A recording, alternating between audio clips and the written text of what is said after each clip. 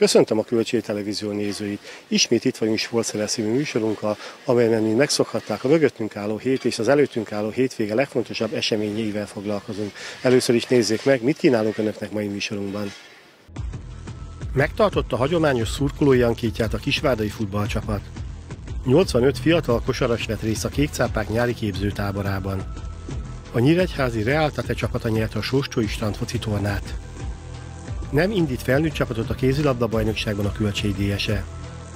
Elkezdte a felkészülést a következő szezonra a Nyíregyházi kosársuli.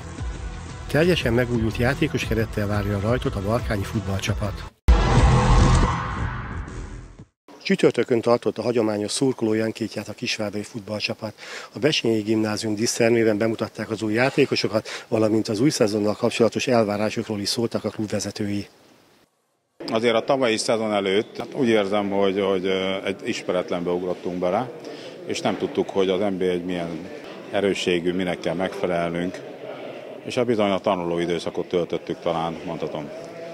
A mostani pedig már egy tapasztalatokkal felvértezett vezetőséget, szakmai stábot és talán bátran, hogy egy jó csapatot is felvonultatott, és hát az is volt a mondatomnak a lényege, hogy megtartani kellett a csapatot, nem pedig új játékosokat hozni, és úgy érzem, hogy a kezdőt figyelembe véve, a tavalyi legtöbbet kezdőként párlabdarúgókat figyelembe véve, százszázalékosan teljesítettünk, mert minden játékosunk itt maradt, és erre sikerült még olyan futballistákat hozni, és olyanokat elengedni, akik perememberek voltak, akik a jövő emberei lehetnek, illetve a Tamás Rubus személyében, aki most is már konkurenciát jelent az akkori kezdőknek, és én úgy érzem, hogy a keretünk fiatalabb lett, motiváltabb lett, éhesebb lett, azt nem tudom, hogy mennyivel erősebb, de hogy mindenképpen a tavalyi szintet üti, ez egészen biztos.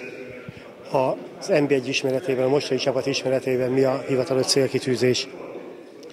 Semmiképpen sem a kiesés elkerülése, azért ugyanis prémiumot sem fizetünk. A tavalyi 9. helyezést szeretnénk túllépni, de ha véletlenül ott leszünk azon a környéken, mert nem látjuk még a csapatoknak az erősségét, az mindenképpen feltűnő, hogy nagyon kevés igazolás valósult meg ebben a szezonban.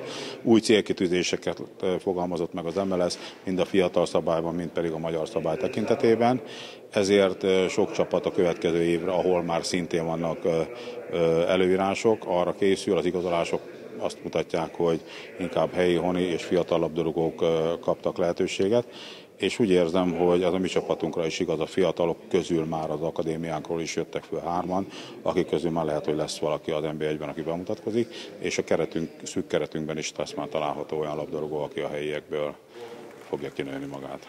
Gondolom sem a futballisták nem bánják se, te nem bánod, hogy most már kezdődik a bajnokság, amikor a felkészülés kezdetekor beszélgetünk, elmondhatod, hogy mit terveztek, mit szeretnél elvégezni a csapatra, sikerült mindent a tervek szerint megcsinálni?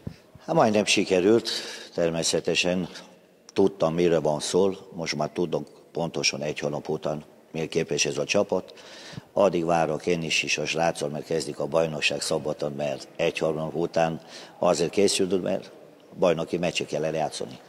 Milyen állapotban vannak a játékosok, milyen formában van a csapat? Ugye az első meccs egy picit mindig lutri. Mindig első meccs mindig nehéz, a legnehezebb ez az első, de szerintem alakul a csapat, már benne van a fejem 90%-ot pontosabban az első tizenes ki lépni fog szombaton a Paks ellen. Nagyon nehéz meccs lesz, ezt tudjuk mi is, de hát itthoni pálya, a saját szurkoló megpróbálok megnyerni ezek a meccs. Milyen stílusú csapatot, milyen játékot szeretnél látni a pályán? Egy harcos csapat, egy agresszív csapat, ki sokat fog, mert valaki időn is azt mondta, mert repülni fog a csapat a pályában, vagy, vagy a Barcelonával, Liverpool fog játszani, ez hazudás. Mert egy hónap utána senki nem tud ilyesmit játszani, de ezt tudom megmenni, a csapat arcini fog a pálya, ez biztos. Negyedszer tartott képzőtábort a Nyíregyháza Blue Sharks. Egy héten keresztül korosztályuknak megfelelő edzéseken vettek részt a fiatal kosarasok. 85 gyerek jelentkezett a táborunkra, ebből most jelen pillanatban 75-en vannak itt, és 10 edzővel dolgozunk. Hogyan épül fel egy napprogramja? Reggel 8-kor kezdődnek az edzések, de már reggel 7-től tudjuk fogadni a gyerekeket.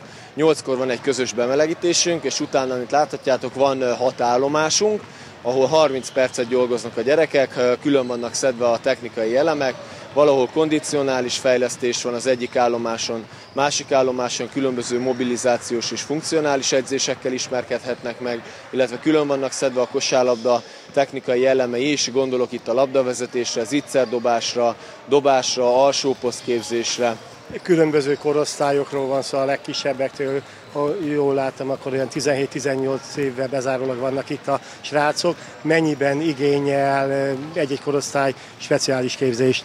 Úgy állítottuk össze a programot, hogy a kicsiknek külön van, tehát a 10-12 évesek külön programot csinálnak, ugye náluk még az ittszerdobás és a különböző ilyen erőfejlesztés gyakorlatok is nagyon az alapdolgok. Az U14-es korosztálytól felfelé pedig már normális sporták specifikus kosárlabda képzést tartunk.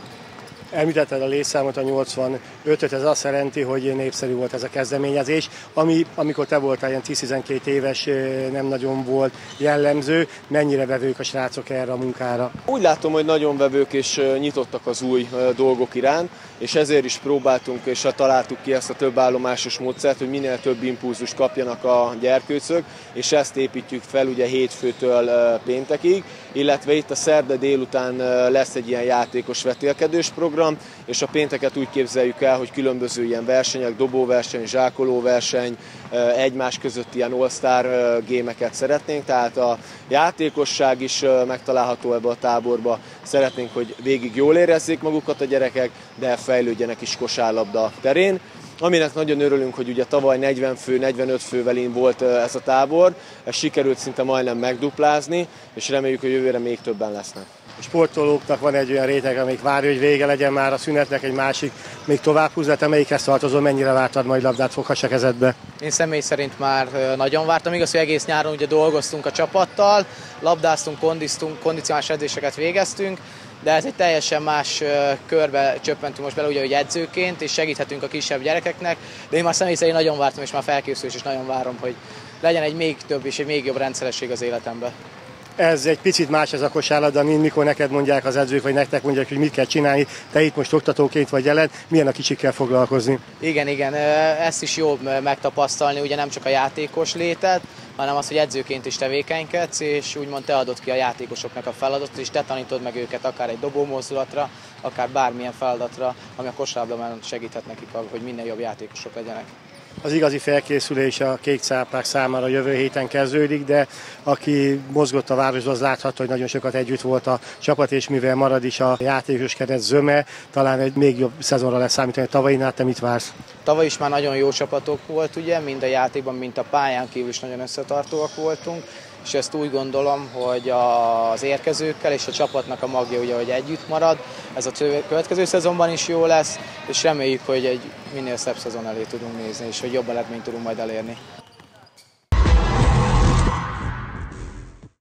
A színvédő Nyíregyházi Reál Tate csapata nyerte a nyolcadik alkalommal megrendezett Sóstói strandfoci tornát. A hölgyeknél a Nyíregyháza Spartakusz együttese végzett az élen a legjobb tornát tudjuk most már magunk mögött, hiszen óriási közönség, közönség siker volt, több mint 5000 ember látta négy nap alatt a, a tornánkat, hála Istennek nem volt egyetlen egy sérülés, se kiállítás is, csak három volt apró butaságok miatt, és óriási mérkőzéseket láthattak, akik kilátogattak. Négy napon keresztül, hiszen 95 mérkőzés zajlott, ebből még ezen kívül négy női mérkőzés is volt, ez volt a nyitány, amit a Nyíregyházi Spartakus, Spartakus csapata nyert meg a férfiaknál címvédés történt, de hogyan alakult maga a torna? A Reáltatek Kft. csapata öt alkalommal nyerte már meg ezt a tornát, különböző időszakban két, kétszer, most viszont egymás után háromszor, így náluk marad a ö, serleg.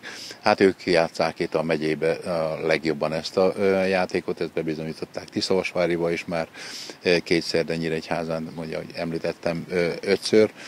Nagyon ö, komoly specialisták vannak a csapatban, és hát kitüntető dolog volt számomra az, hogy a, a döntőbe bekerült egy olyan csapat, Standok Junior néven, amelyben apák és fiúk szerepeltek, óriási nevek, hát hiszen a megyébe mindenki ismeri őket, hogy mennyi tettek le a zöld gyepre az életük során, amíg a pályafutásuk során.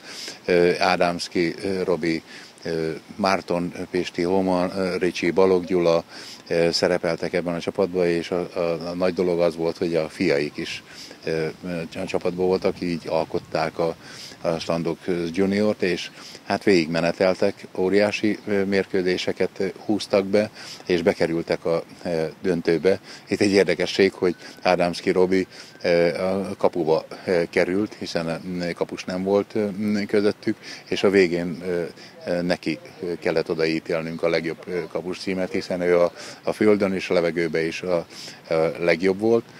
Nagyon nagy mérkőzések voltak, szenzációs csapatok jöttek el, hiszen 5 megyéből 17 település, ahogy korábban is már említettem, jöttek csapatok, és mindenki azonnal regisztráltatta magát a következő évi tornára, nem szeretnének kimaradni, hiszen most már ez egy zsátrendszer lett, hogy gyakorlatilag ennyi 40 férfi és 4 női csapatot tudunk fogadni a négy nap folyamán. Ez kitüntető dolog számunkra, és én ezúton köszönöm is a város vezetésének és a Sóstó Gyógyfürdő ZRT vezetésének, hogy lehetőséget biztosítottak erre a tornára. Mi pedig a Nyíregyházi Sportcentrum szervező csapata mindent elkövettünk annak érdekében, hogy jó hírét vigyék a városunknak, a megyénknek az ország különböző pontján, hiszen egy 12 tagú szervezőbizottsággal bonyolítottuk ezt a tornát. Lehet azt látni, hogy évről évre fejlődik ez a szakág? Igen, hát nagyon sokat fejlődik, évről évre fejlődik, hiszen annak idején, mikor elkezdtük, az hiszem 8 csapattal kezdtük el ezt a tornát, de nem is nagyon ismertük egyedül, talán a Bohemians csapata volt az, amelyik, amelyik játszotta ezt, igaz, hogy ők komolyan, most is jól szerepeltek, két csapattal is tovább jutottak a csoportselejtezőkből, viszont egyre több csapat megtanulja ezt a, ezeket a szabályokat, és elmennek a Tiszatóhoz, elmennek a Balatonhoz, elmennek ezt hely környékére, vagy éppen Budapestre egy-egy tornára, és nem vallanak szégyen. Hiszen a szabályokban vannak olyan változtatások, amit mi külön alkalmazunk itt, az országos szabályoktól eltérően, de nagyon jól tanulják a szabályokat a csapatok, és hát nálunk komoly specialisták vannak, hiszen a kispályán is óriási eredményeket érnek el bárhol, bármelyik tornán elindulnak, büszke vagyok rá, hogy, hogy a dobogóra mindig valamelyik fokára föláll egy Nyíregyházi vagy szabolcs bereg megyei csapat. Sokáig nem maradnak futball nélkül a kispályás specialisták, hiszen hamarosan indul a Nyíregyházi Városi Kispályás Bajnokság, hol tart a következő szezon szervezés előkészítése. Igen, jól állunk, hiszen jelen pillanatban 115 csapat nevezett már, éppen hétfőn zárul le a nevezési határidő, és én bízom benne, hogy azt a tavalyi létszámot fogjuk tudni produkálni, ami volt tavaly, 117 csapat szerepelt a bajnokságban, augusztus 12-én hétfőn indul a bajnokság, elő, ezt megelőzően augusztus 10-én szombaton az elődöm részére egy emléktornát bonyolítunk, Vég István emléktorna második alkalommal kerül megrendezésre a Városi Stadionba. Itt természetesen csak azok szerepelhetnek, akik a Városi Bajnokságba igazolással rendelkeznek. Ez egy felvezető torna, négyes csoportokban játszanak majd a csapatok, és ez egy kitűnő dolog így felkészítésként. Annyi változás most jelen pillanatban látszik, hogy az öreg fiúk három csoportjából kettőt kell létrehozni, hiszen volt egy első, másod és harmadosztály, most viszont az első másodosztályt fogjuk feltölteni 14-14-re. Itt nagyon sok meccset fognak játszani a csapatok, hát eddig ugye 22 meccs fért bele, de most a 26 mérkőzés lesz nekik, hol lesz olyan csapat, amelyik egy héten három meccset is fog játszani. Egészen október 31-ig fog pattogni a labda a Nyíregyházi Sportcentrum szervezésével megrendezése kerülő Decathlon konyhaművel városi kispályás labdarúgó bajnokságban.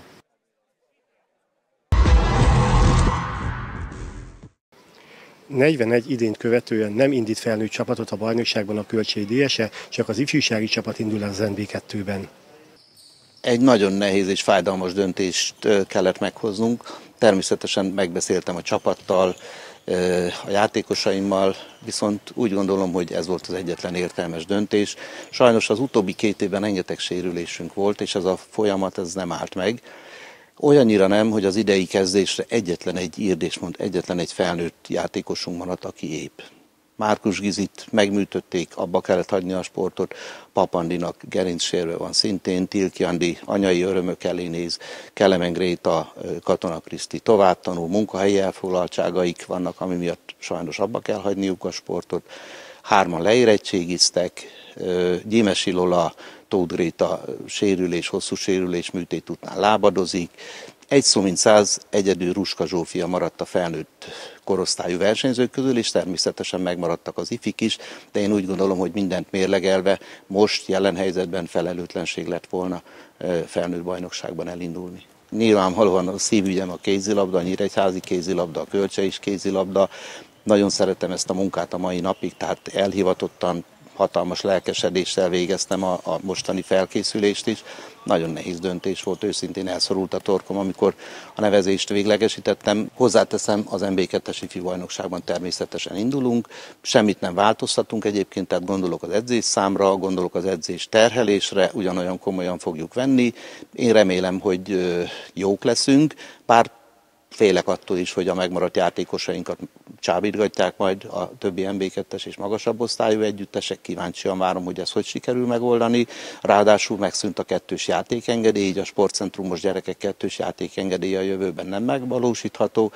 Én azt gondolom, érzek egyrészt magamban annyi erőt, hogy újra talpra álljunk, és aztán majd meglátjuk egy év, múl, egy év múlva átgondoljuk a lehetőségeinket, az anyagi bázis és minden egyéb rendelkezésre áll. Ez egy kimondottan szakmai döntés volt. A fiatalok számára mikor indul a szezon? A felkészülésünk augusztus elején kezdődik, a bajnokság szeptember közepén rajtól. Kíváncsian várom, hogy hogyan, hányan maradunk, és hát remélem, hogy a, a motiváció megmarad a lányokban legalább annyira, mint én bennem, és aztán akkor újraépítkezünk. Tulajdonképpen a mi filozófiánk, hogy saját erőinkre támaszkodunk, tehát nem akartam most átigazolásokkal, csábítgatásokkal, befektetésekkel újraépíteni a csapatot. Ez nem a mi útunk, mi más utat járunk, szeretnénk azt követni. Gyakorlatilag változatlan játékos kerettel, egy új futbalistával a soraiban készül a bajnokságra a Nagyegyedi futballcsapat. Ádámszki Róbert együttes a legjobb hat között szeretne végezni a megyei első osztályban. Egy ember távozott a Rosser Robert, és most az utolsó pillanatban Papcsabát tudtuk igazolni a videóton utánpótlásból. Július 9-én kezdtünk, heti 4, 3-4 edzés és két edzőmérkőzésre készülünk. Milyennek a felkészülési meccsek tapasztalatai? Változó, az elejű változó volt, úgy érzem most az utóbbi két mérkőzésen már ott körül nyújtotta a teljesítményt a csapat, amit elvárunk tőle. Bizakodom, várjuk, hogy ez majd mire lesz elég a bajnokságban, az már ott derül ki. Nem lehet azt mondani, hogy túl bő a játékos keret, hiszen tavaly sem volt az. Nem jelente rizikót ennyi játékos se nekivágni a szezonnak. Nem. Én úgy gondolom 15-16-an, most már 16-an leszünk, az ebbe az osztályban maximálisan elég. Én nem is értem, ahol 20 ember van, hogy ott milyen konkurencia lehet, így én úgy gondolom, hogy kellő versenyhelyzet alakul ki a csapaton belül. Nagyon erős volt a tavalyi bajnokság, és nagyon izgalmas. Ugye a végén a nagy esedette befutó, most az következő bajnokság előtt mi a célkitűzés, mi az elvárás? Ugyanaz, mint a tavalyi évben első hat a cél. Nézve a többi csapatot azért jócskán beerősítettek. Mi, én úgy gondolom, a mi keretünk nem szorult olyan erősítésre. Itt a lehetőség azoknak, hogy kevesebbet játszottak, bizonyítsanak. Ádámszki Róbert továbbra is játékos edzőként dolgozik a csapattal. Láthatnak-e még a pályán a szurkolók? Persze, természetes. Én még szeretek focizni, tehát én azért csinálom, mert szeretem, nem külön motivációért. Tehát ugyanúgy, mint Ricsi velem van, homma Ricsi, ő sem Makeszte, de biztos, hogy ki se tudnám adni, hogyha akarnám sem.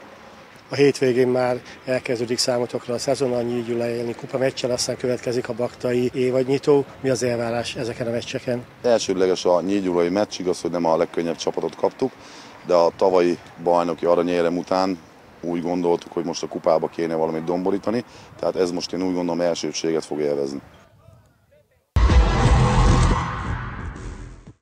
Elkezdte a felkészülés a Nyíregyházi kosársuli. Az NKS augusztus végén ismét megrendezi több korosztályt érintő tornáját. Az augusztus végi tornák miatt egy kicsit azért intenzívebb ilyenkor a munka, leginkább ugye az állóképesség visszaszerzése, hogy ez a két, két hónapos kiesés miatt az elsőleges célunk, de mellett azért próbáljuk nagyon hamar már a labdát is beépíteni, mert hát azért ezek a játékosok mégiscsak a labdával szocializálódtak, ugye sokkal szívesebben labdáznak. Mennyire vevők a lányok erre a munkára? Ez szerencsére azt mondom, hogy az évek során azért sikerült kiépítenünk velük egy normális kapcsolatot. Ugye ezek a lányok most, hogy ez a felnövekvő generációnk az, akivel már ide korán sikerült egy öt évvel ezelőtt elkezdünk ugye a közös munkát, így ők azért ebbe nőttek bele. Szerencsére azt mondom, hogy nagyon vevők rá, sokan vannak, akik azért ilyenkor örülnek is, hogy végre ebből a két hónap semmit tevésből elkezdhetnek valami mozgást végre csinálni valamikor egy medicinlabda vagy egy zsámoly volt a erőlíti felkészítési eszköze, most már azért változott a világ. Milyen eszközök állnak a rendelkezésetekre? Szerencsére azt mondom, hogy nekem a vezetése hogy egyszerű dolgom van, így gyakorlatilag bármi, amit kérünk, nagyon könnyen megoldható. Ugye az a TAU rendszer azért nagyon sokat segít abban, hogy az eszközpalettánkat bővítsük. Szerencsére még mindig azért ott figyel egy jó medicinlabdás edzés, de azért most már erőplatós, polárrendszeres, folyamatos monitoring rendszereket használunk, ami azért sokkal egyszerűbb felépíteni magának a, a játékosnak és a terhelhetősége szempontjából az edzés munkáját. Te nem csak itt a nyíregyházi kosású lányokkal dolgozol, hanem a korosztályos válogatottak mellett is. A nyár elejétől meddig tart még ez a munka, és milyen dolgozja a nemzeti csapat legjobbjaival? Igen, szerencsére van egy ilyen jó lehetőségünk is. Azt tudom mondani, hogy sikerül beépíteni az onnan szerzett tapasztalatokat ugye az Egyesület munkájába is. Ugye évről évre tolódik kifelé a válogatottak felkészülés ciklusa, és most augusztus közepe végéig egészen vannak bent válogatottak, ez azért kicsit nehezíti a munkánkat, de ahogy nézzük, nagyon jó munkát tudunk végezni, ugye évről évre jobb eredményeket és tartós eredményeket tudunk elérni a korosztályokban talán nem árulok el meglepetésre, azt mondom, meglepődtem volna, nem láttak itt az enkes első edzésén, viszont adódik a kérdés, hogy most milyen minőségben. Jelenleg megpróbálok ugye edzeni, a sérülésemből próbáljuk megnézni azt, hogy mi az, ami lehet és mi az, amit nem, tehát semmi biztos nincs, az sem, hogy játszok, az sem, hogy nem. Ez a tipikus soha nem mondta soha. Jelenleg ugye most kezdtük a mai nappal az alapozást, úgyhogy meglátjuk, hogy mi is meddig megy, hogy történik, aztán utána okosabbak leszünk nyilván. A nyári időszak pihenő volt a lányok számára, de minden igaz, azért neked nem telt eseménytelenül az az időszak sem.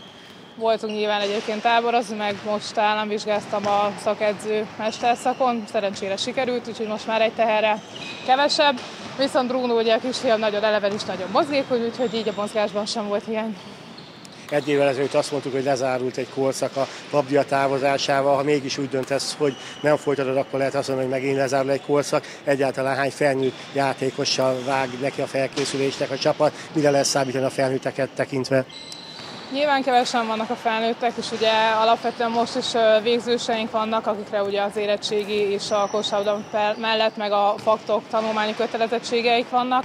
Meglátjuk ugye, hogy a tavalyak közül akár Anna, akár Vivien, akár a Fekete Dóri, és nyilván akár én is, hogy hogy fogjuk tudni esetleg ezt vállalni. Nyilván Bíró Petra ugye sérülésből épülő is fel, Úgyhogy nagyon képlékeny még a dolog, nyilván elkezdtük a munkát, nekivágunk. Tehát volt már nehéz sorsa azért ennek az Egyesületnek, akár az nba csapatnak is, de én azt gondolom, hogy mindig megpróbál tisztesen helytállni, és az idő sem lesz másként. Ha minden igaz, nem szakad meg a hagyomány, ezúttal is rendez majd a Egyesület egy több korosztályt érintő tornát. Mikor? Augusztus végére tervezzük, ez mindig ugye ekkor szokott lenni. Általában ugye a Vilet Fesztivál is itt van, úgyhogy a csapatok is nagyon szívesen szoktak jönni. NBA Junior Kadett, illetve serdülő korosztályban gondolkodunk ebben a tornában. Már jelezték többen a csapatok közül, hogy részt kívánnak ezen venni, úgyhogy bízunk benne, hogy ugyanolyan sikeres lesz, mint az eddigi években.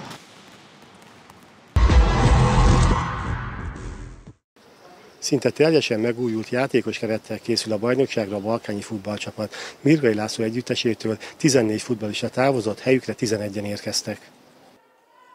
Jelen pillanatban teljes eh, cserét kellett végrehajtanom, három-négy játékosom maradt. Eh, elvitték a kapusomat a Turdani MB3-ba, eh, a Kondás elemér, ugye ott igazoltam helyette az Zán Krisztiánt Fehérgyalmatról a kapuba, elment az Ohár tájára, elment a Vitali 60-ba, elment a Gelsi Tiszaújvárosba, hát ez négy meghatározó játékos volt, de öten abba hagyták, öten elmentek, én engedtem el őket, úgyhogy így olyan 12-13 távozó van, és jelen pillanatban olyan 11 érkezőnél járunk, de még várok egy új játékosra, tulajdonképpen akik meghatározó fotbalisták, az a Belényesi, aki ugye NB1-be is játszott, ő jött Cigándról, a Varga Krisztián játszott a Nyíregyházi Spartakuszba, ugye NB1-ben van, vagy 15-20 meccse, ő baloldali védőbe jött, jött az Angyalos Norvi, aki szintén bemutatkozott már NB2-be, egy nagyon tehetséges srác, középpálya csatásorba használhatom, és a Müller Zsoltit, hát azt nem kell bemutatni, azt mindenki ismeri, ő középpályán védelemben. Ők azok a fotbalisták, akik mindenféleképpen kiemelkedő és, és meghatározó kell, hogy legyen ebbe a csapatba illetve hát jöttek alacsonyabb osztályból is, ugye jött a Lakatos Jani egy támadó középpályás, őt Apagyról hoztam, jött még a Petruska Attila, ugye ő is nyíregyházi nevelés, őt Kótajból, csatársorba, jött a két Ibrányi srác, a Vidoán és a Szabó Milán, ők védő is, illetve középpályára igazoltam, jött Németországból a Patelecki ötödosztályból, ő középpályás, jött a Mizsák Sanyi középpályán, nagyon tehetséges 19 éves srác Hajduböszörményből, úgyhogy hát van bőven bőven új játékos, nem lesz egyszerű őket összecsiszolni, rövid az idő, hát hogy mennyi idő kell erre majd az elválik, de, de jelen pillanatban én úgy látom, hogy időigényes lesz, hiszen nem egyforma erőállapotba érkeztek, illetve hát a csapatrészek még látszik az edzőmeccseken, hogy nincsenek összecsiszolódva, és hát még egy jó pár dolgot át kell gyakorolnunk. Milyen célt lehet ilyenkor kitűzni, hogy meg kell várni a bajnokság első szakaszát, és utána lehet érdemben majd arról dönteni, hogy hova érhet oda a csapat? Az első hat meccsnek el kell tenni ahhoz, hogy lássam, hogy hova is érhetünk. Igazából a sorsolásunk két újonccal hozott össze az első két fordulóba, ugye menjünk Újfehértóra, jön a Nyírmegyes, utána menjünk Nagyhalázba, és utána jönnek az ércsapatok hozzánk, úgyhogy ha ebből jól jövünk ki, akkor, akkor az bíztató lehet a jövőt illetően, ha rosszul jövünk ki, akkor ez az ősz valószínű rá fog menni a csapatépítése a Magyar Kupára is nevezett a Balkány tavalyi sorozatban jó szerepelt a csapatot, mi lehet a cél?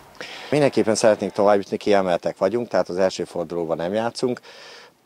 Hát ha szerencsés sorsolásunk lesz, akkor, akkor ugye mivel három jut ki az országos körben, mindenképpen az a célunk, hogy kijussunk, és ugyanolyan jó szerepeljünk, mint, mint ahogy tettük azt a tavalyi szezonban. A bajnoki rajtig hány meccset játszik még a Balkány?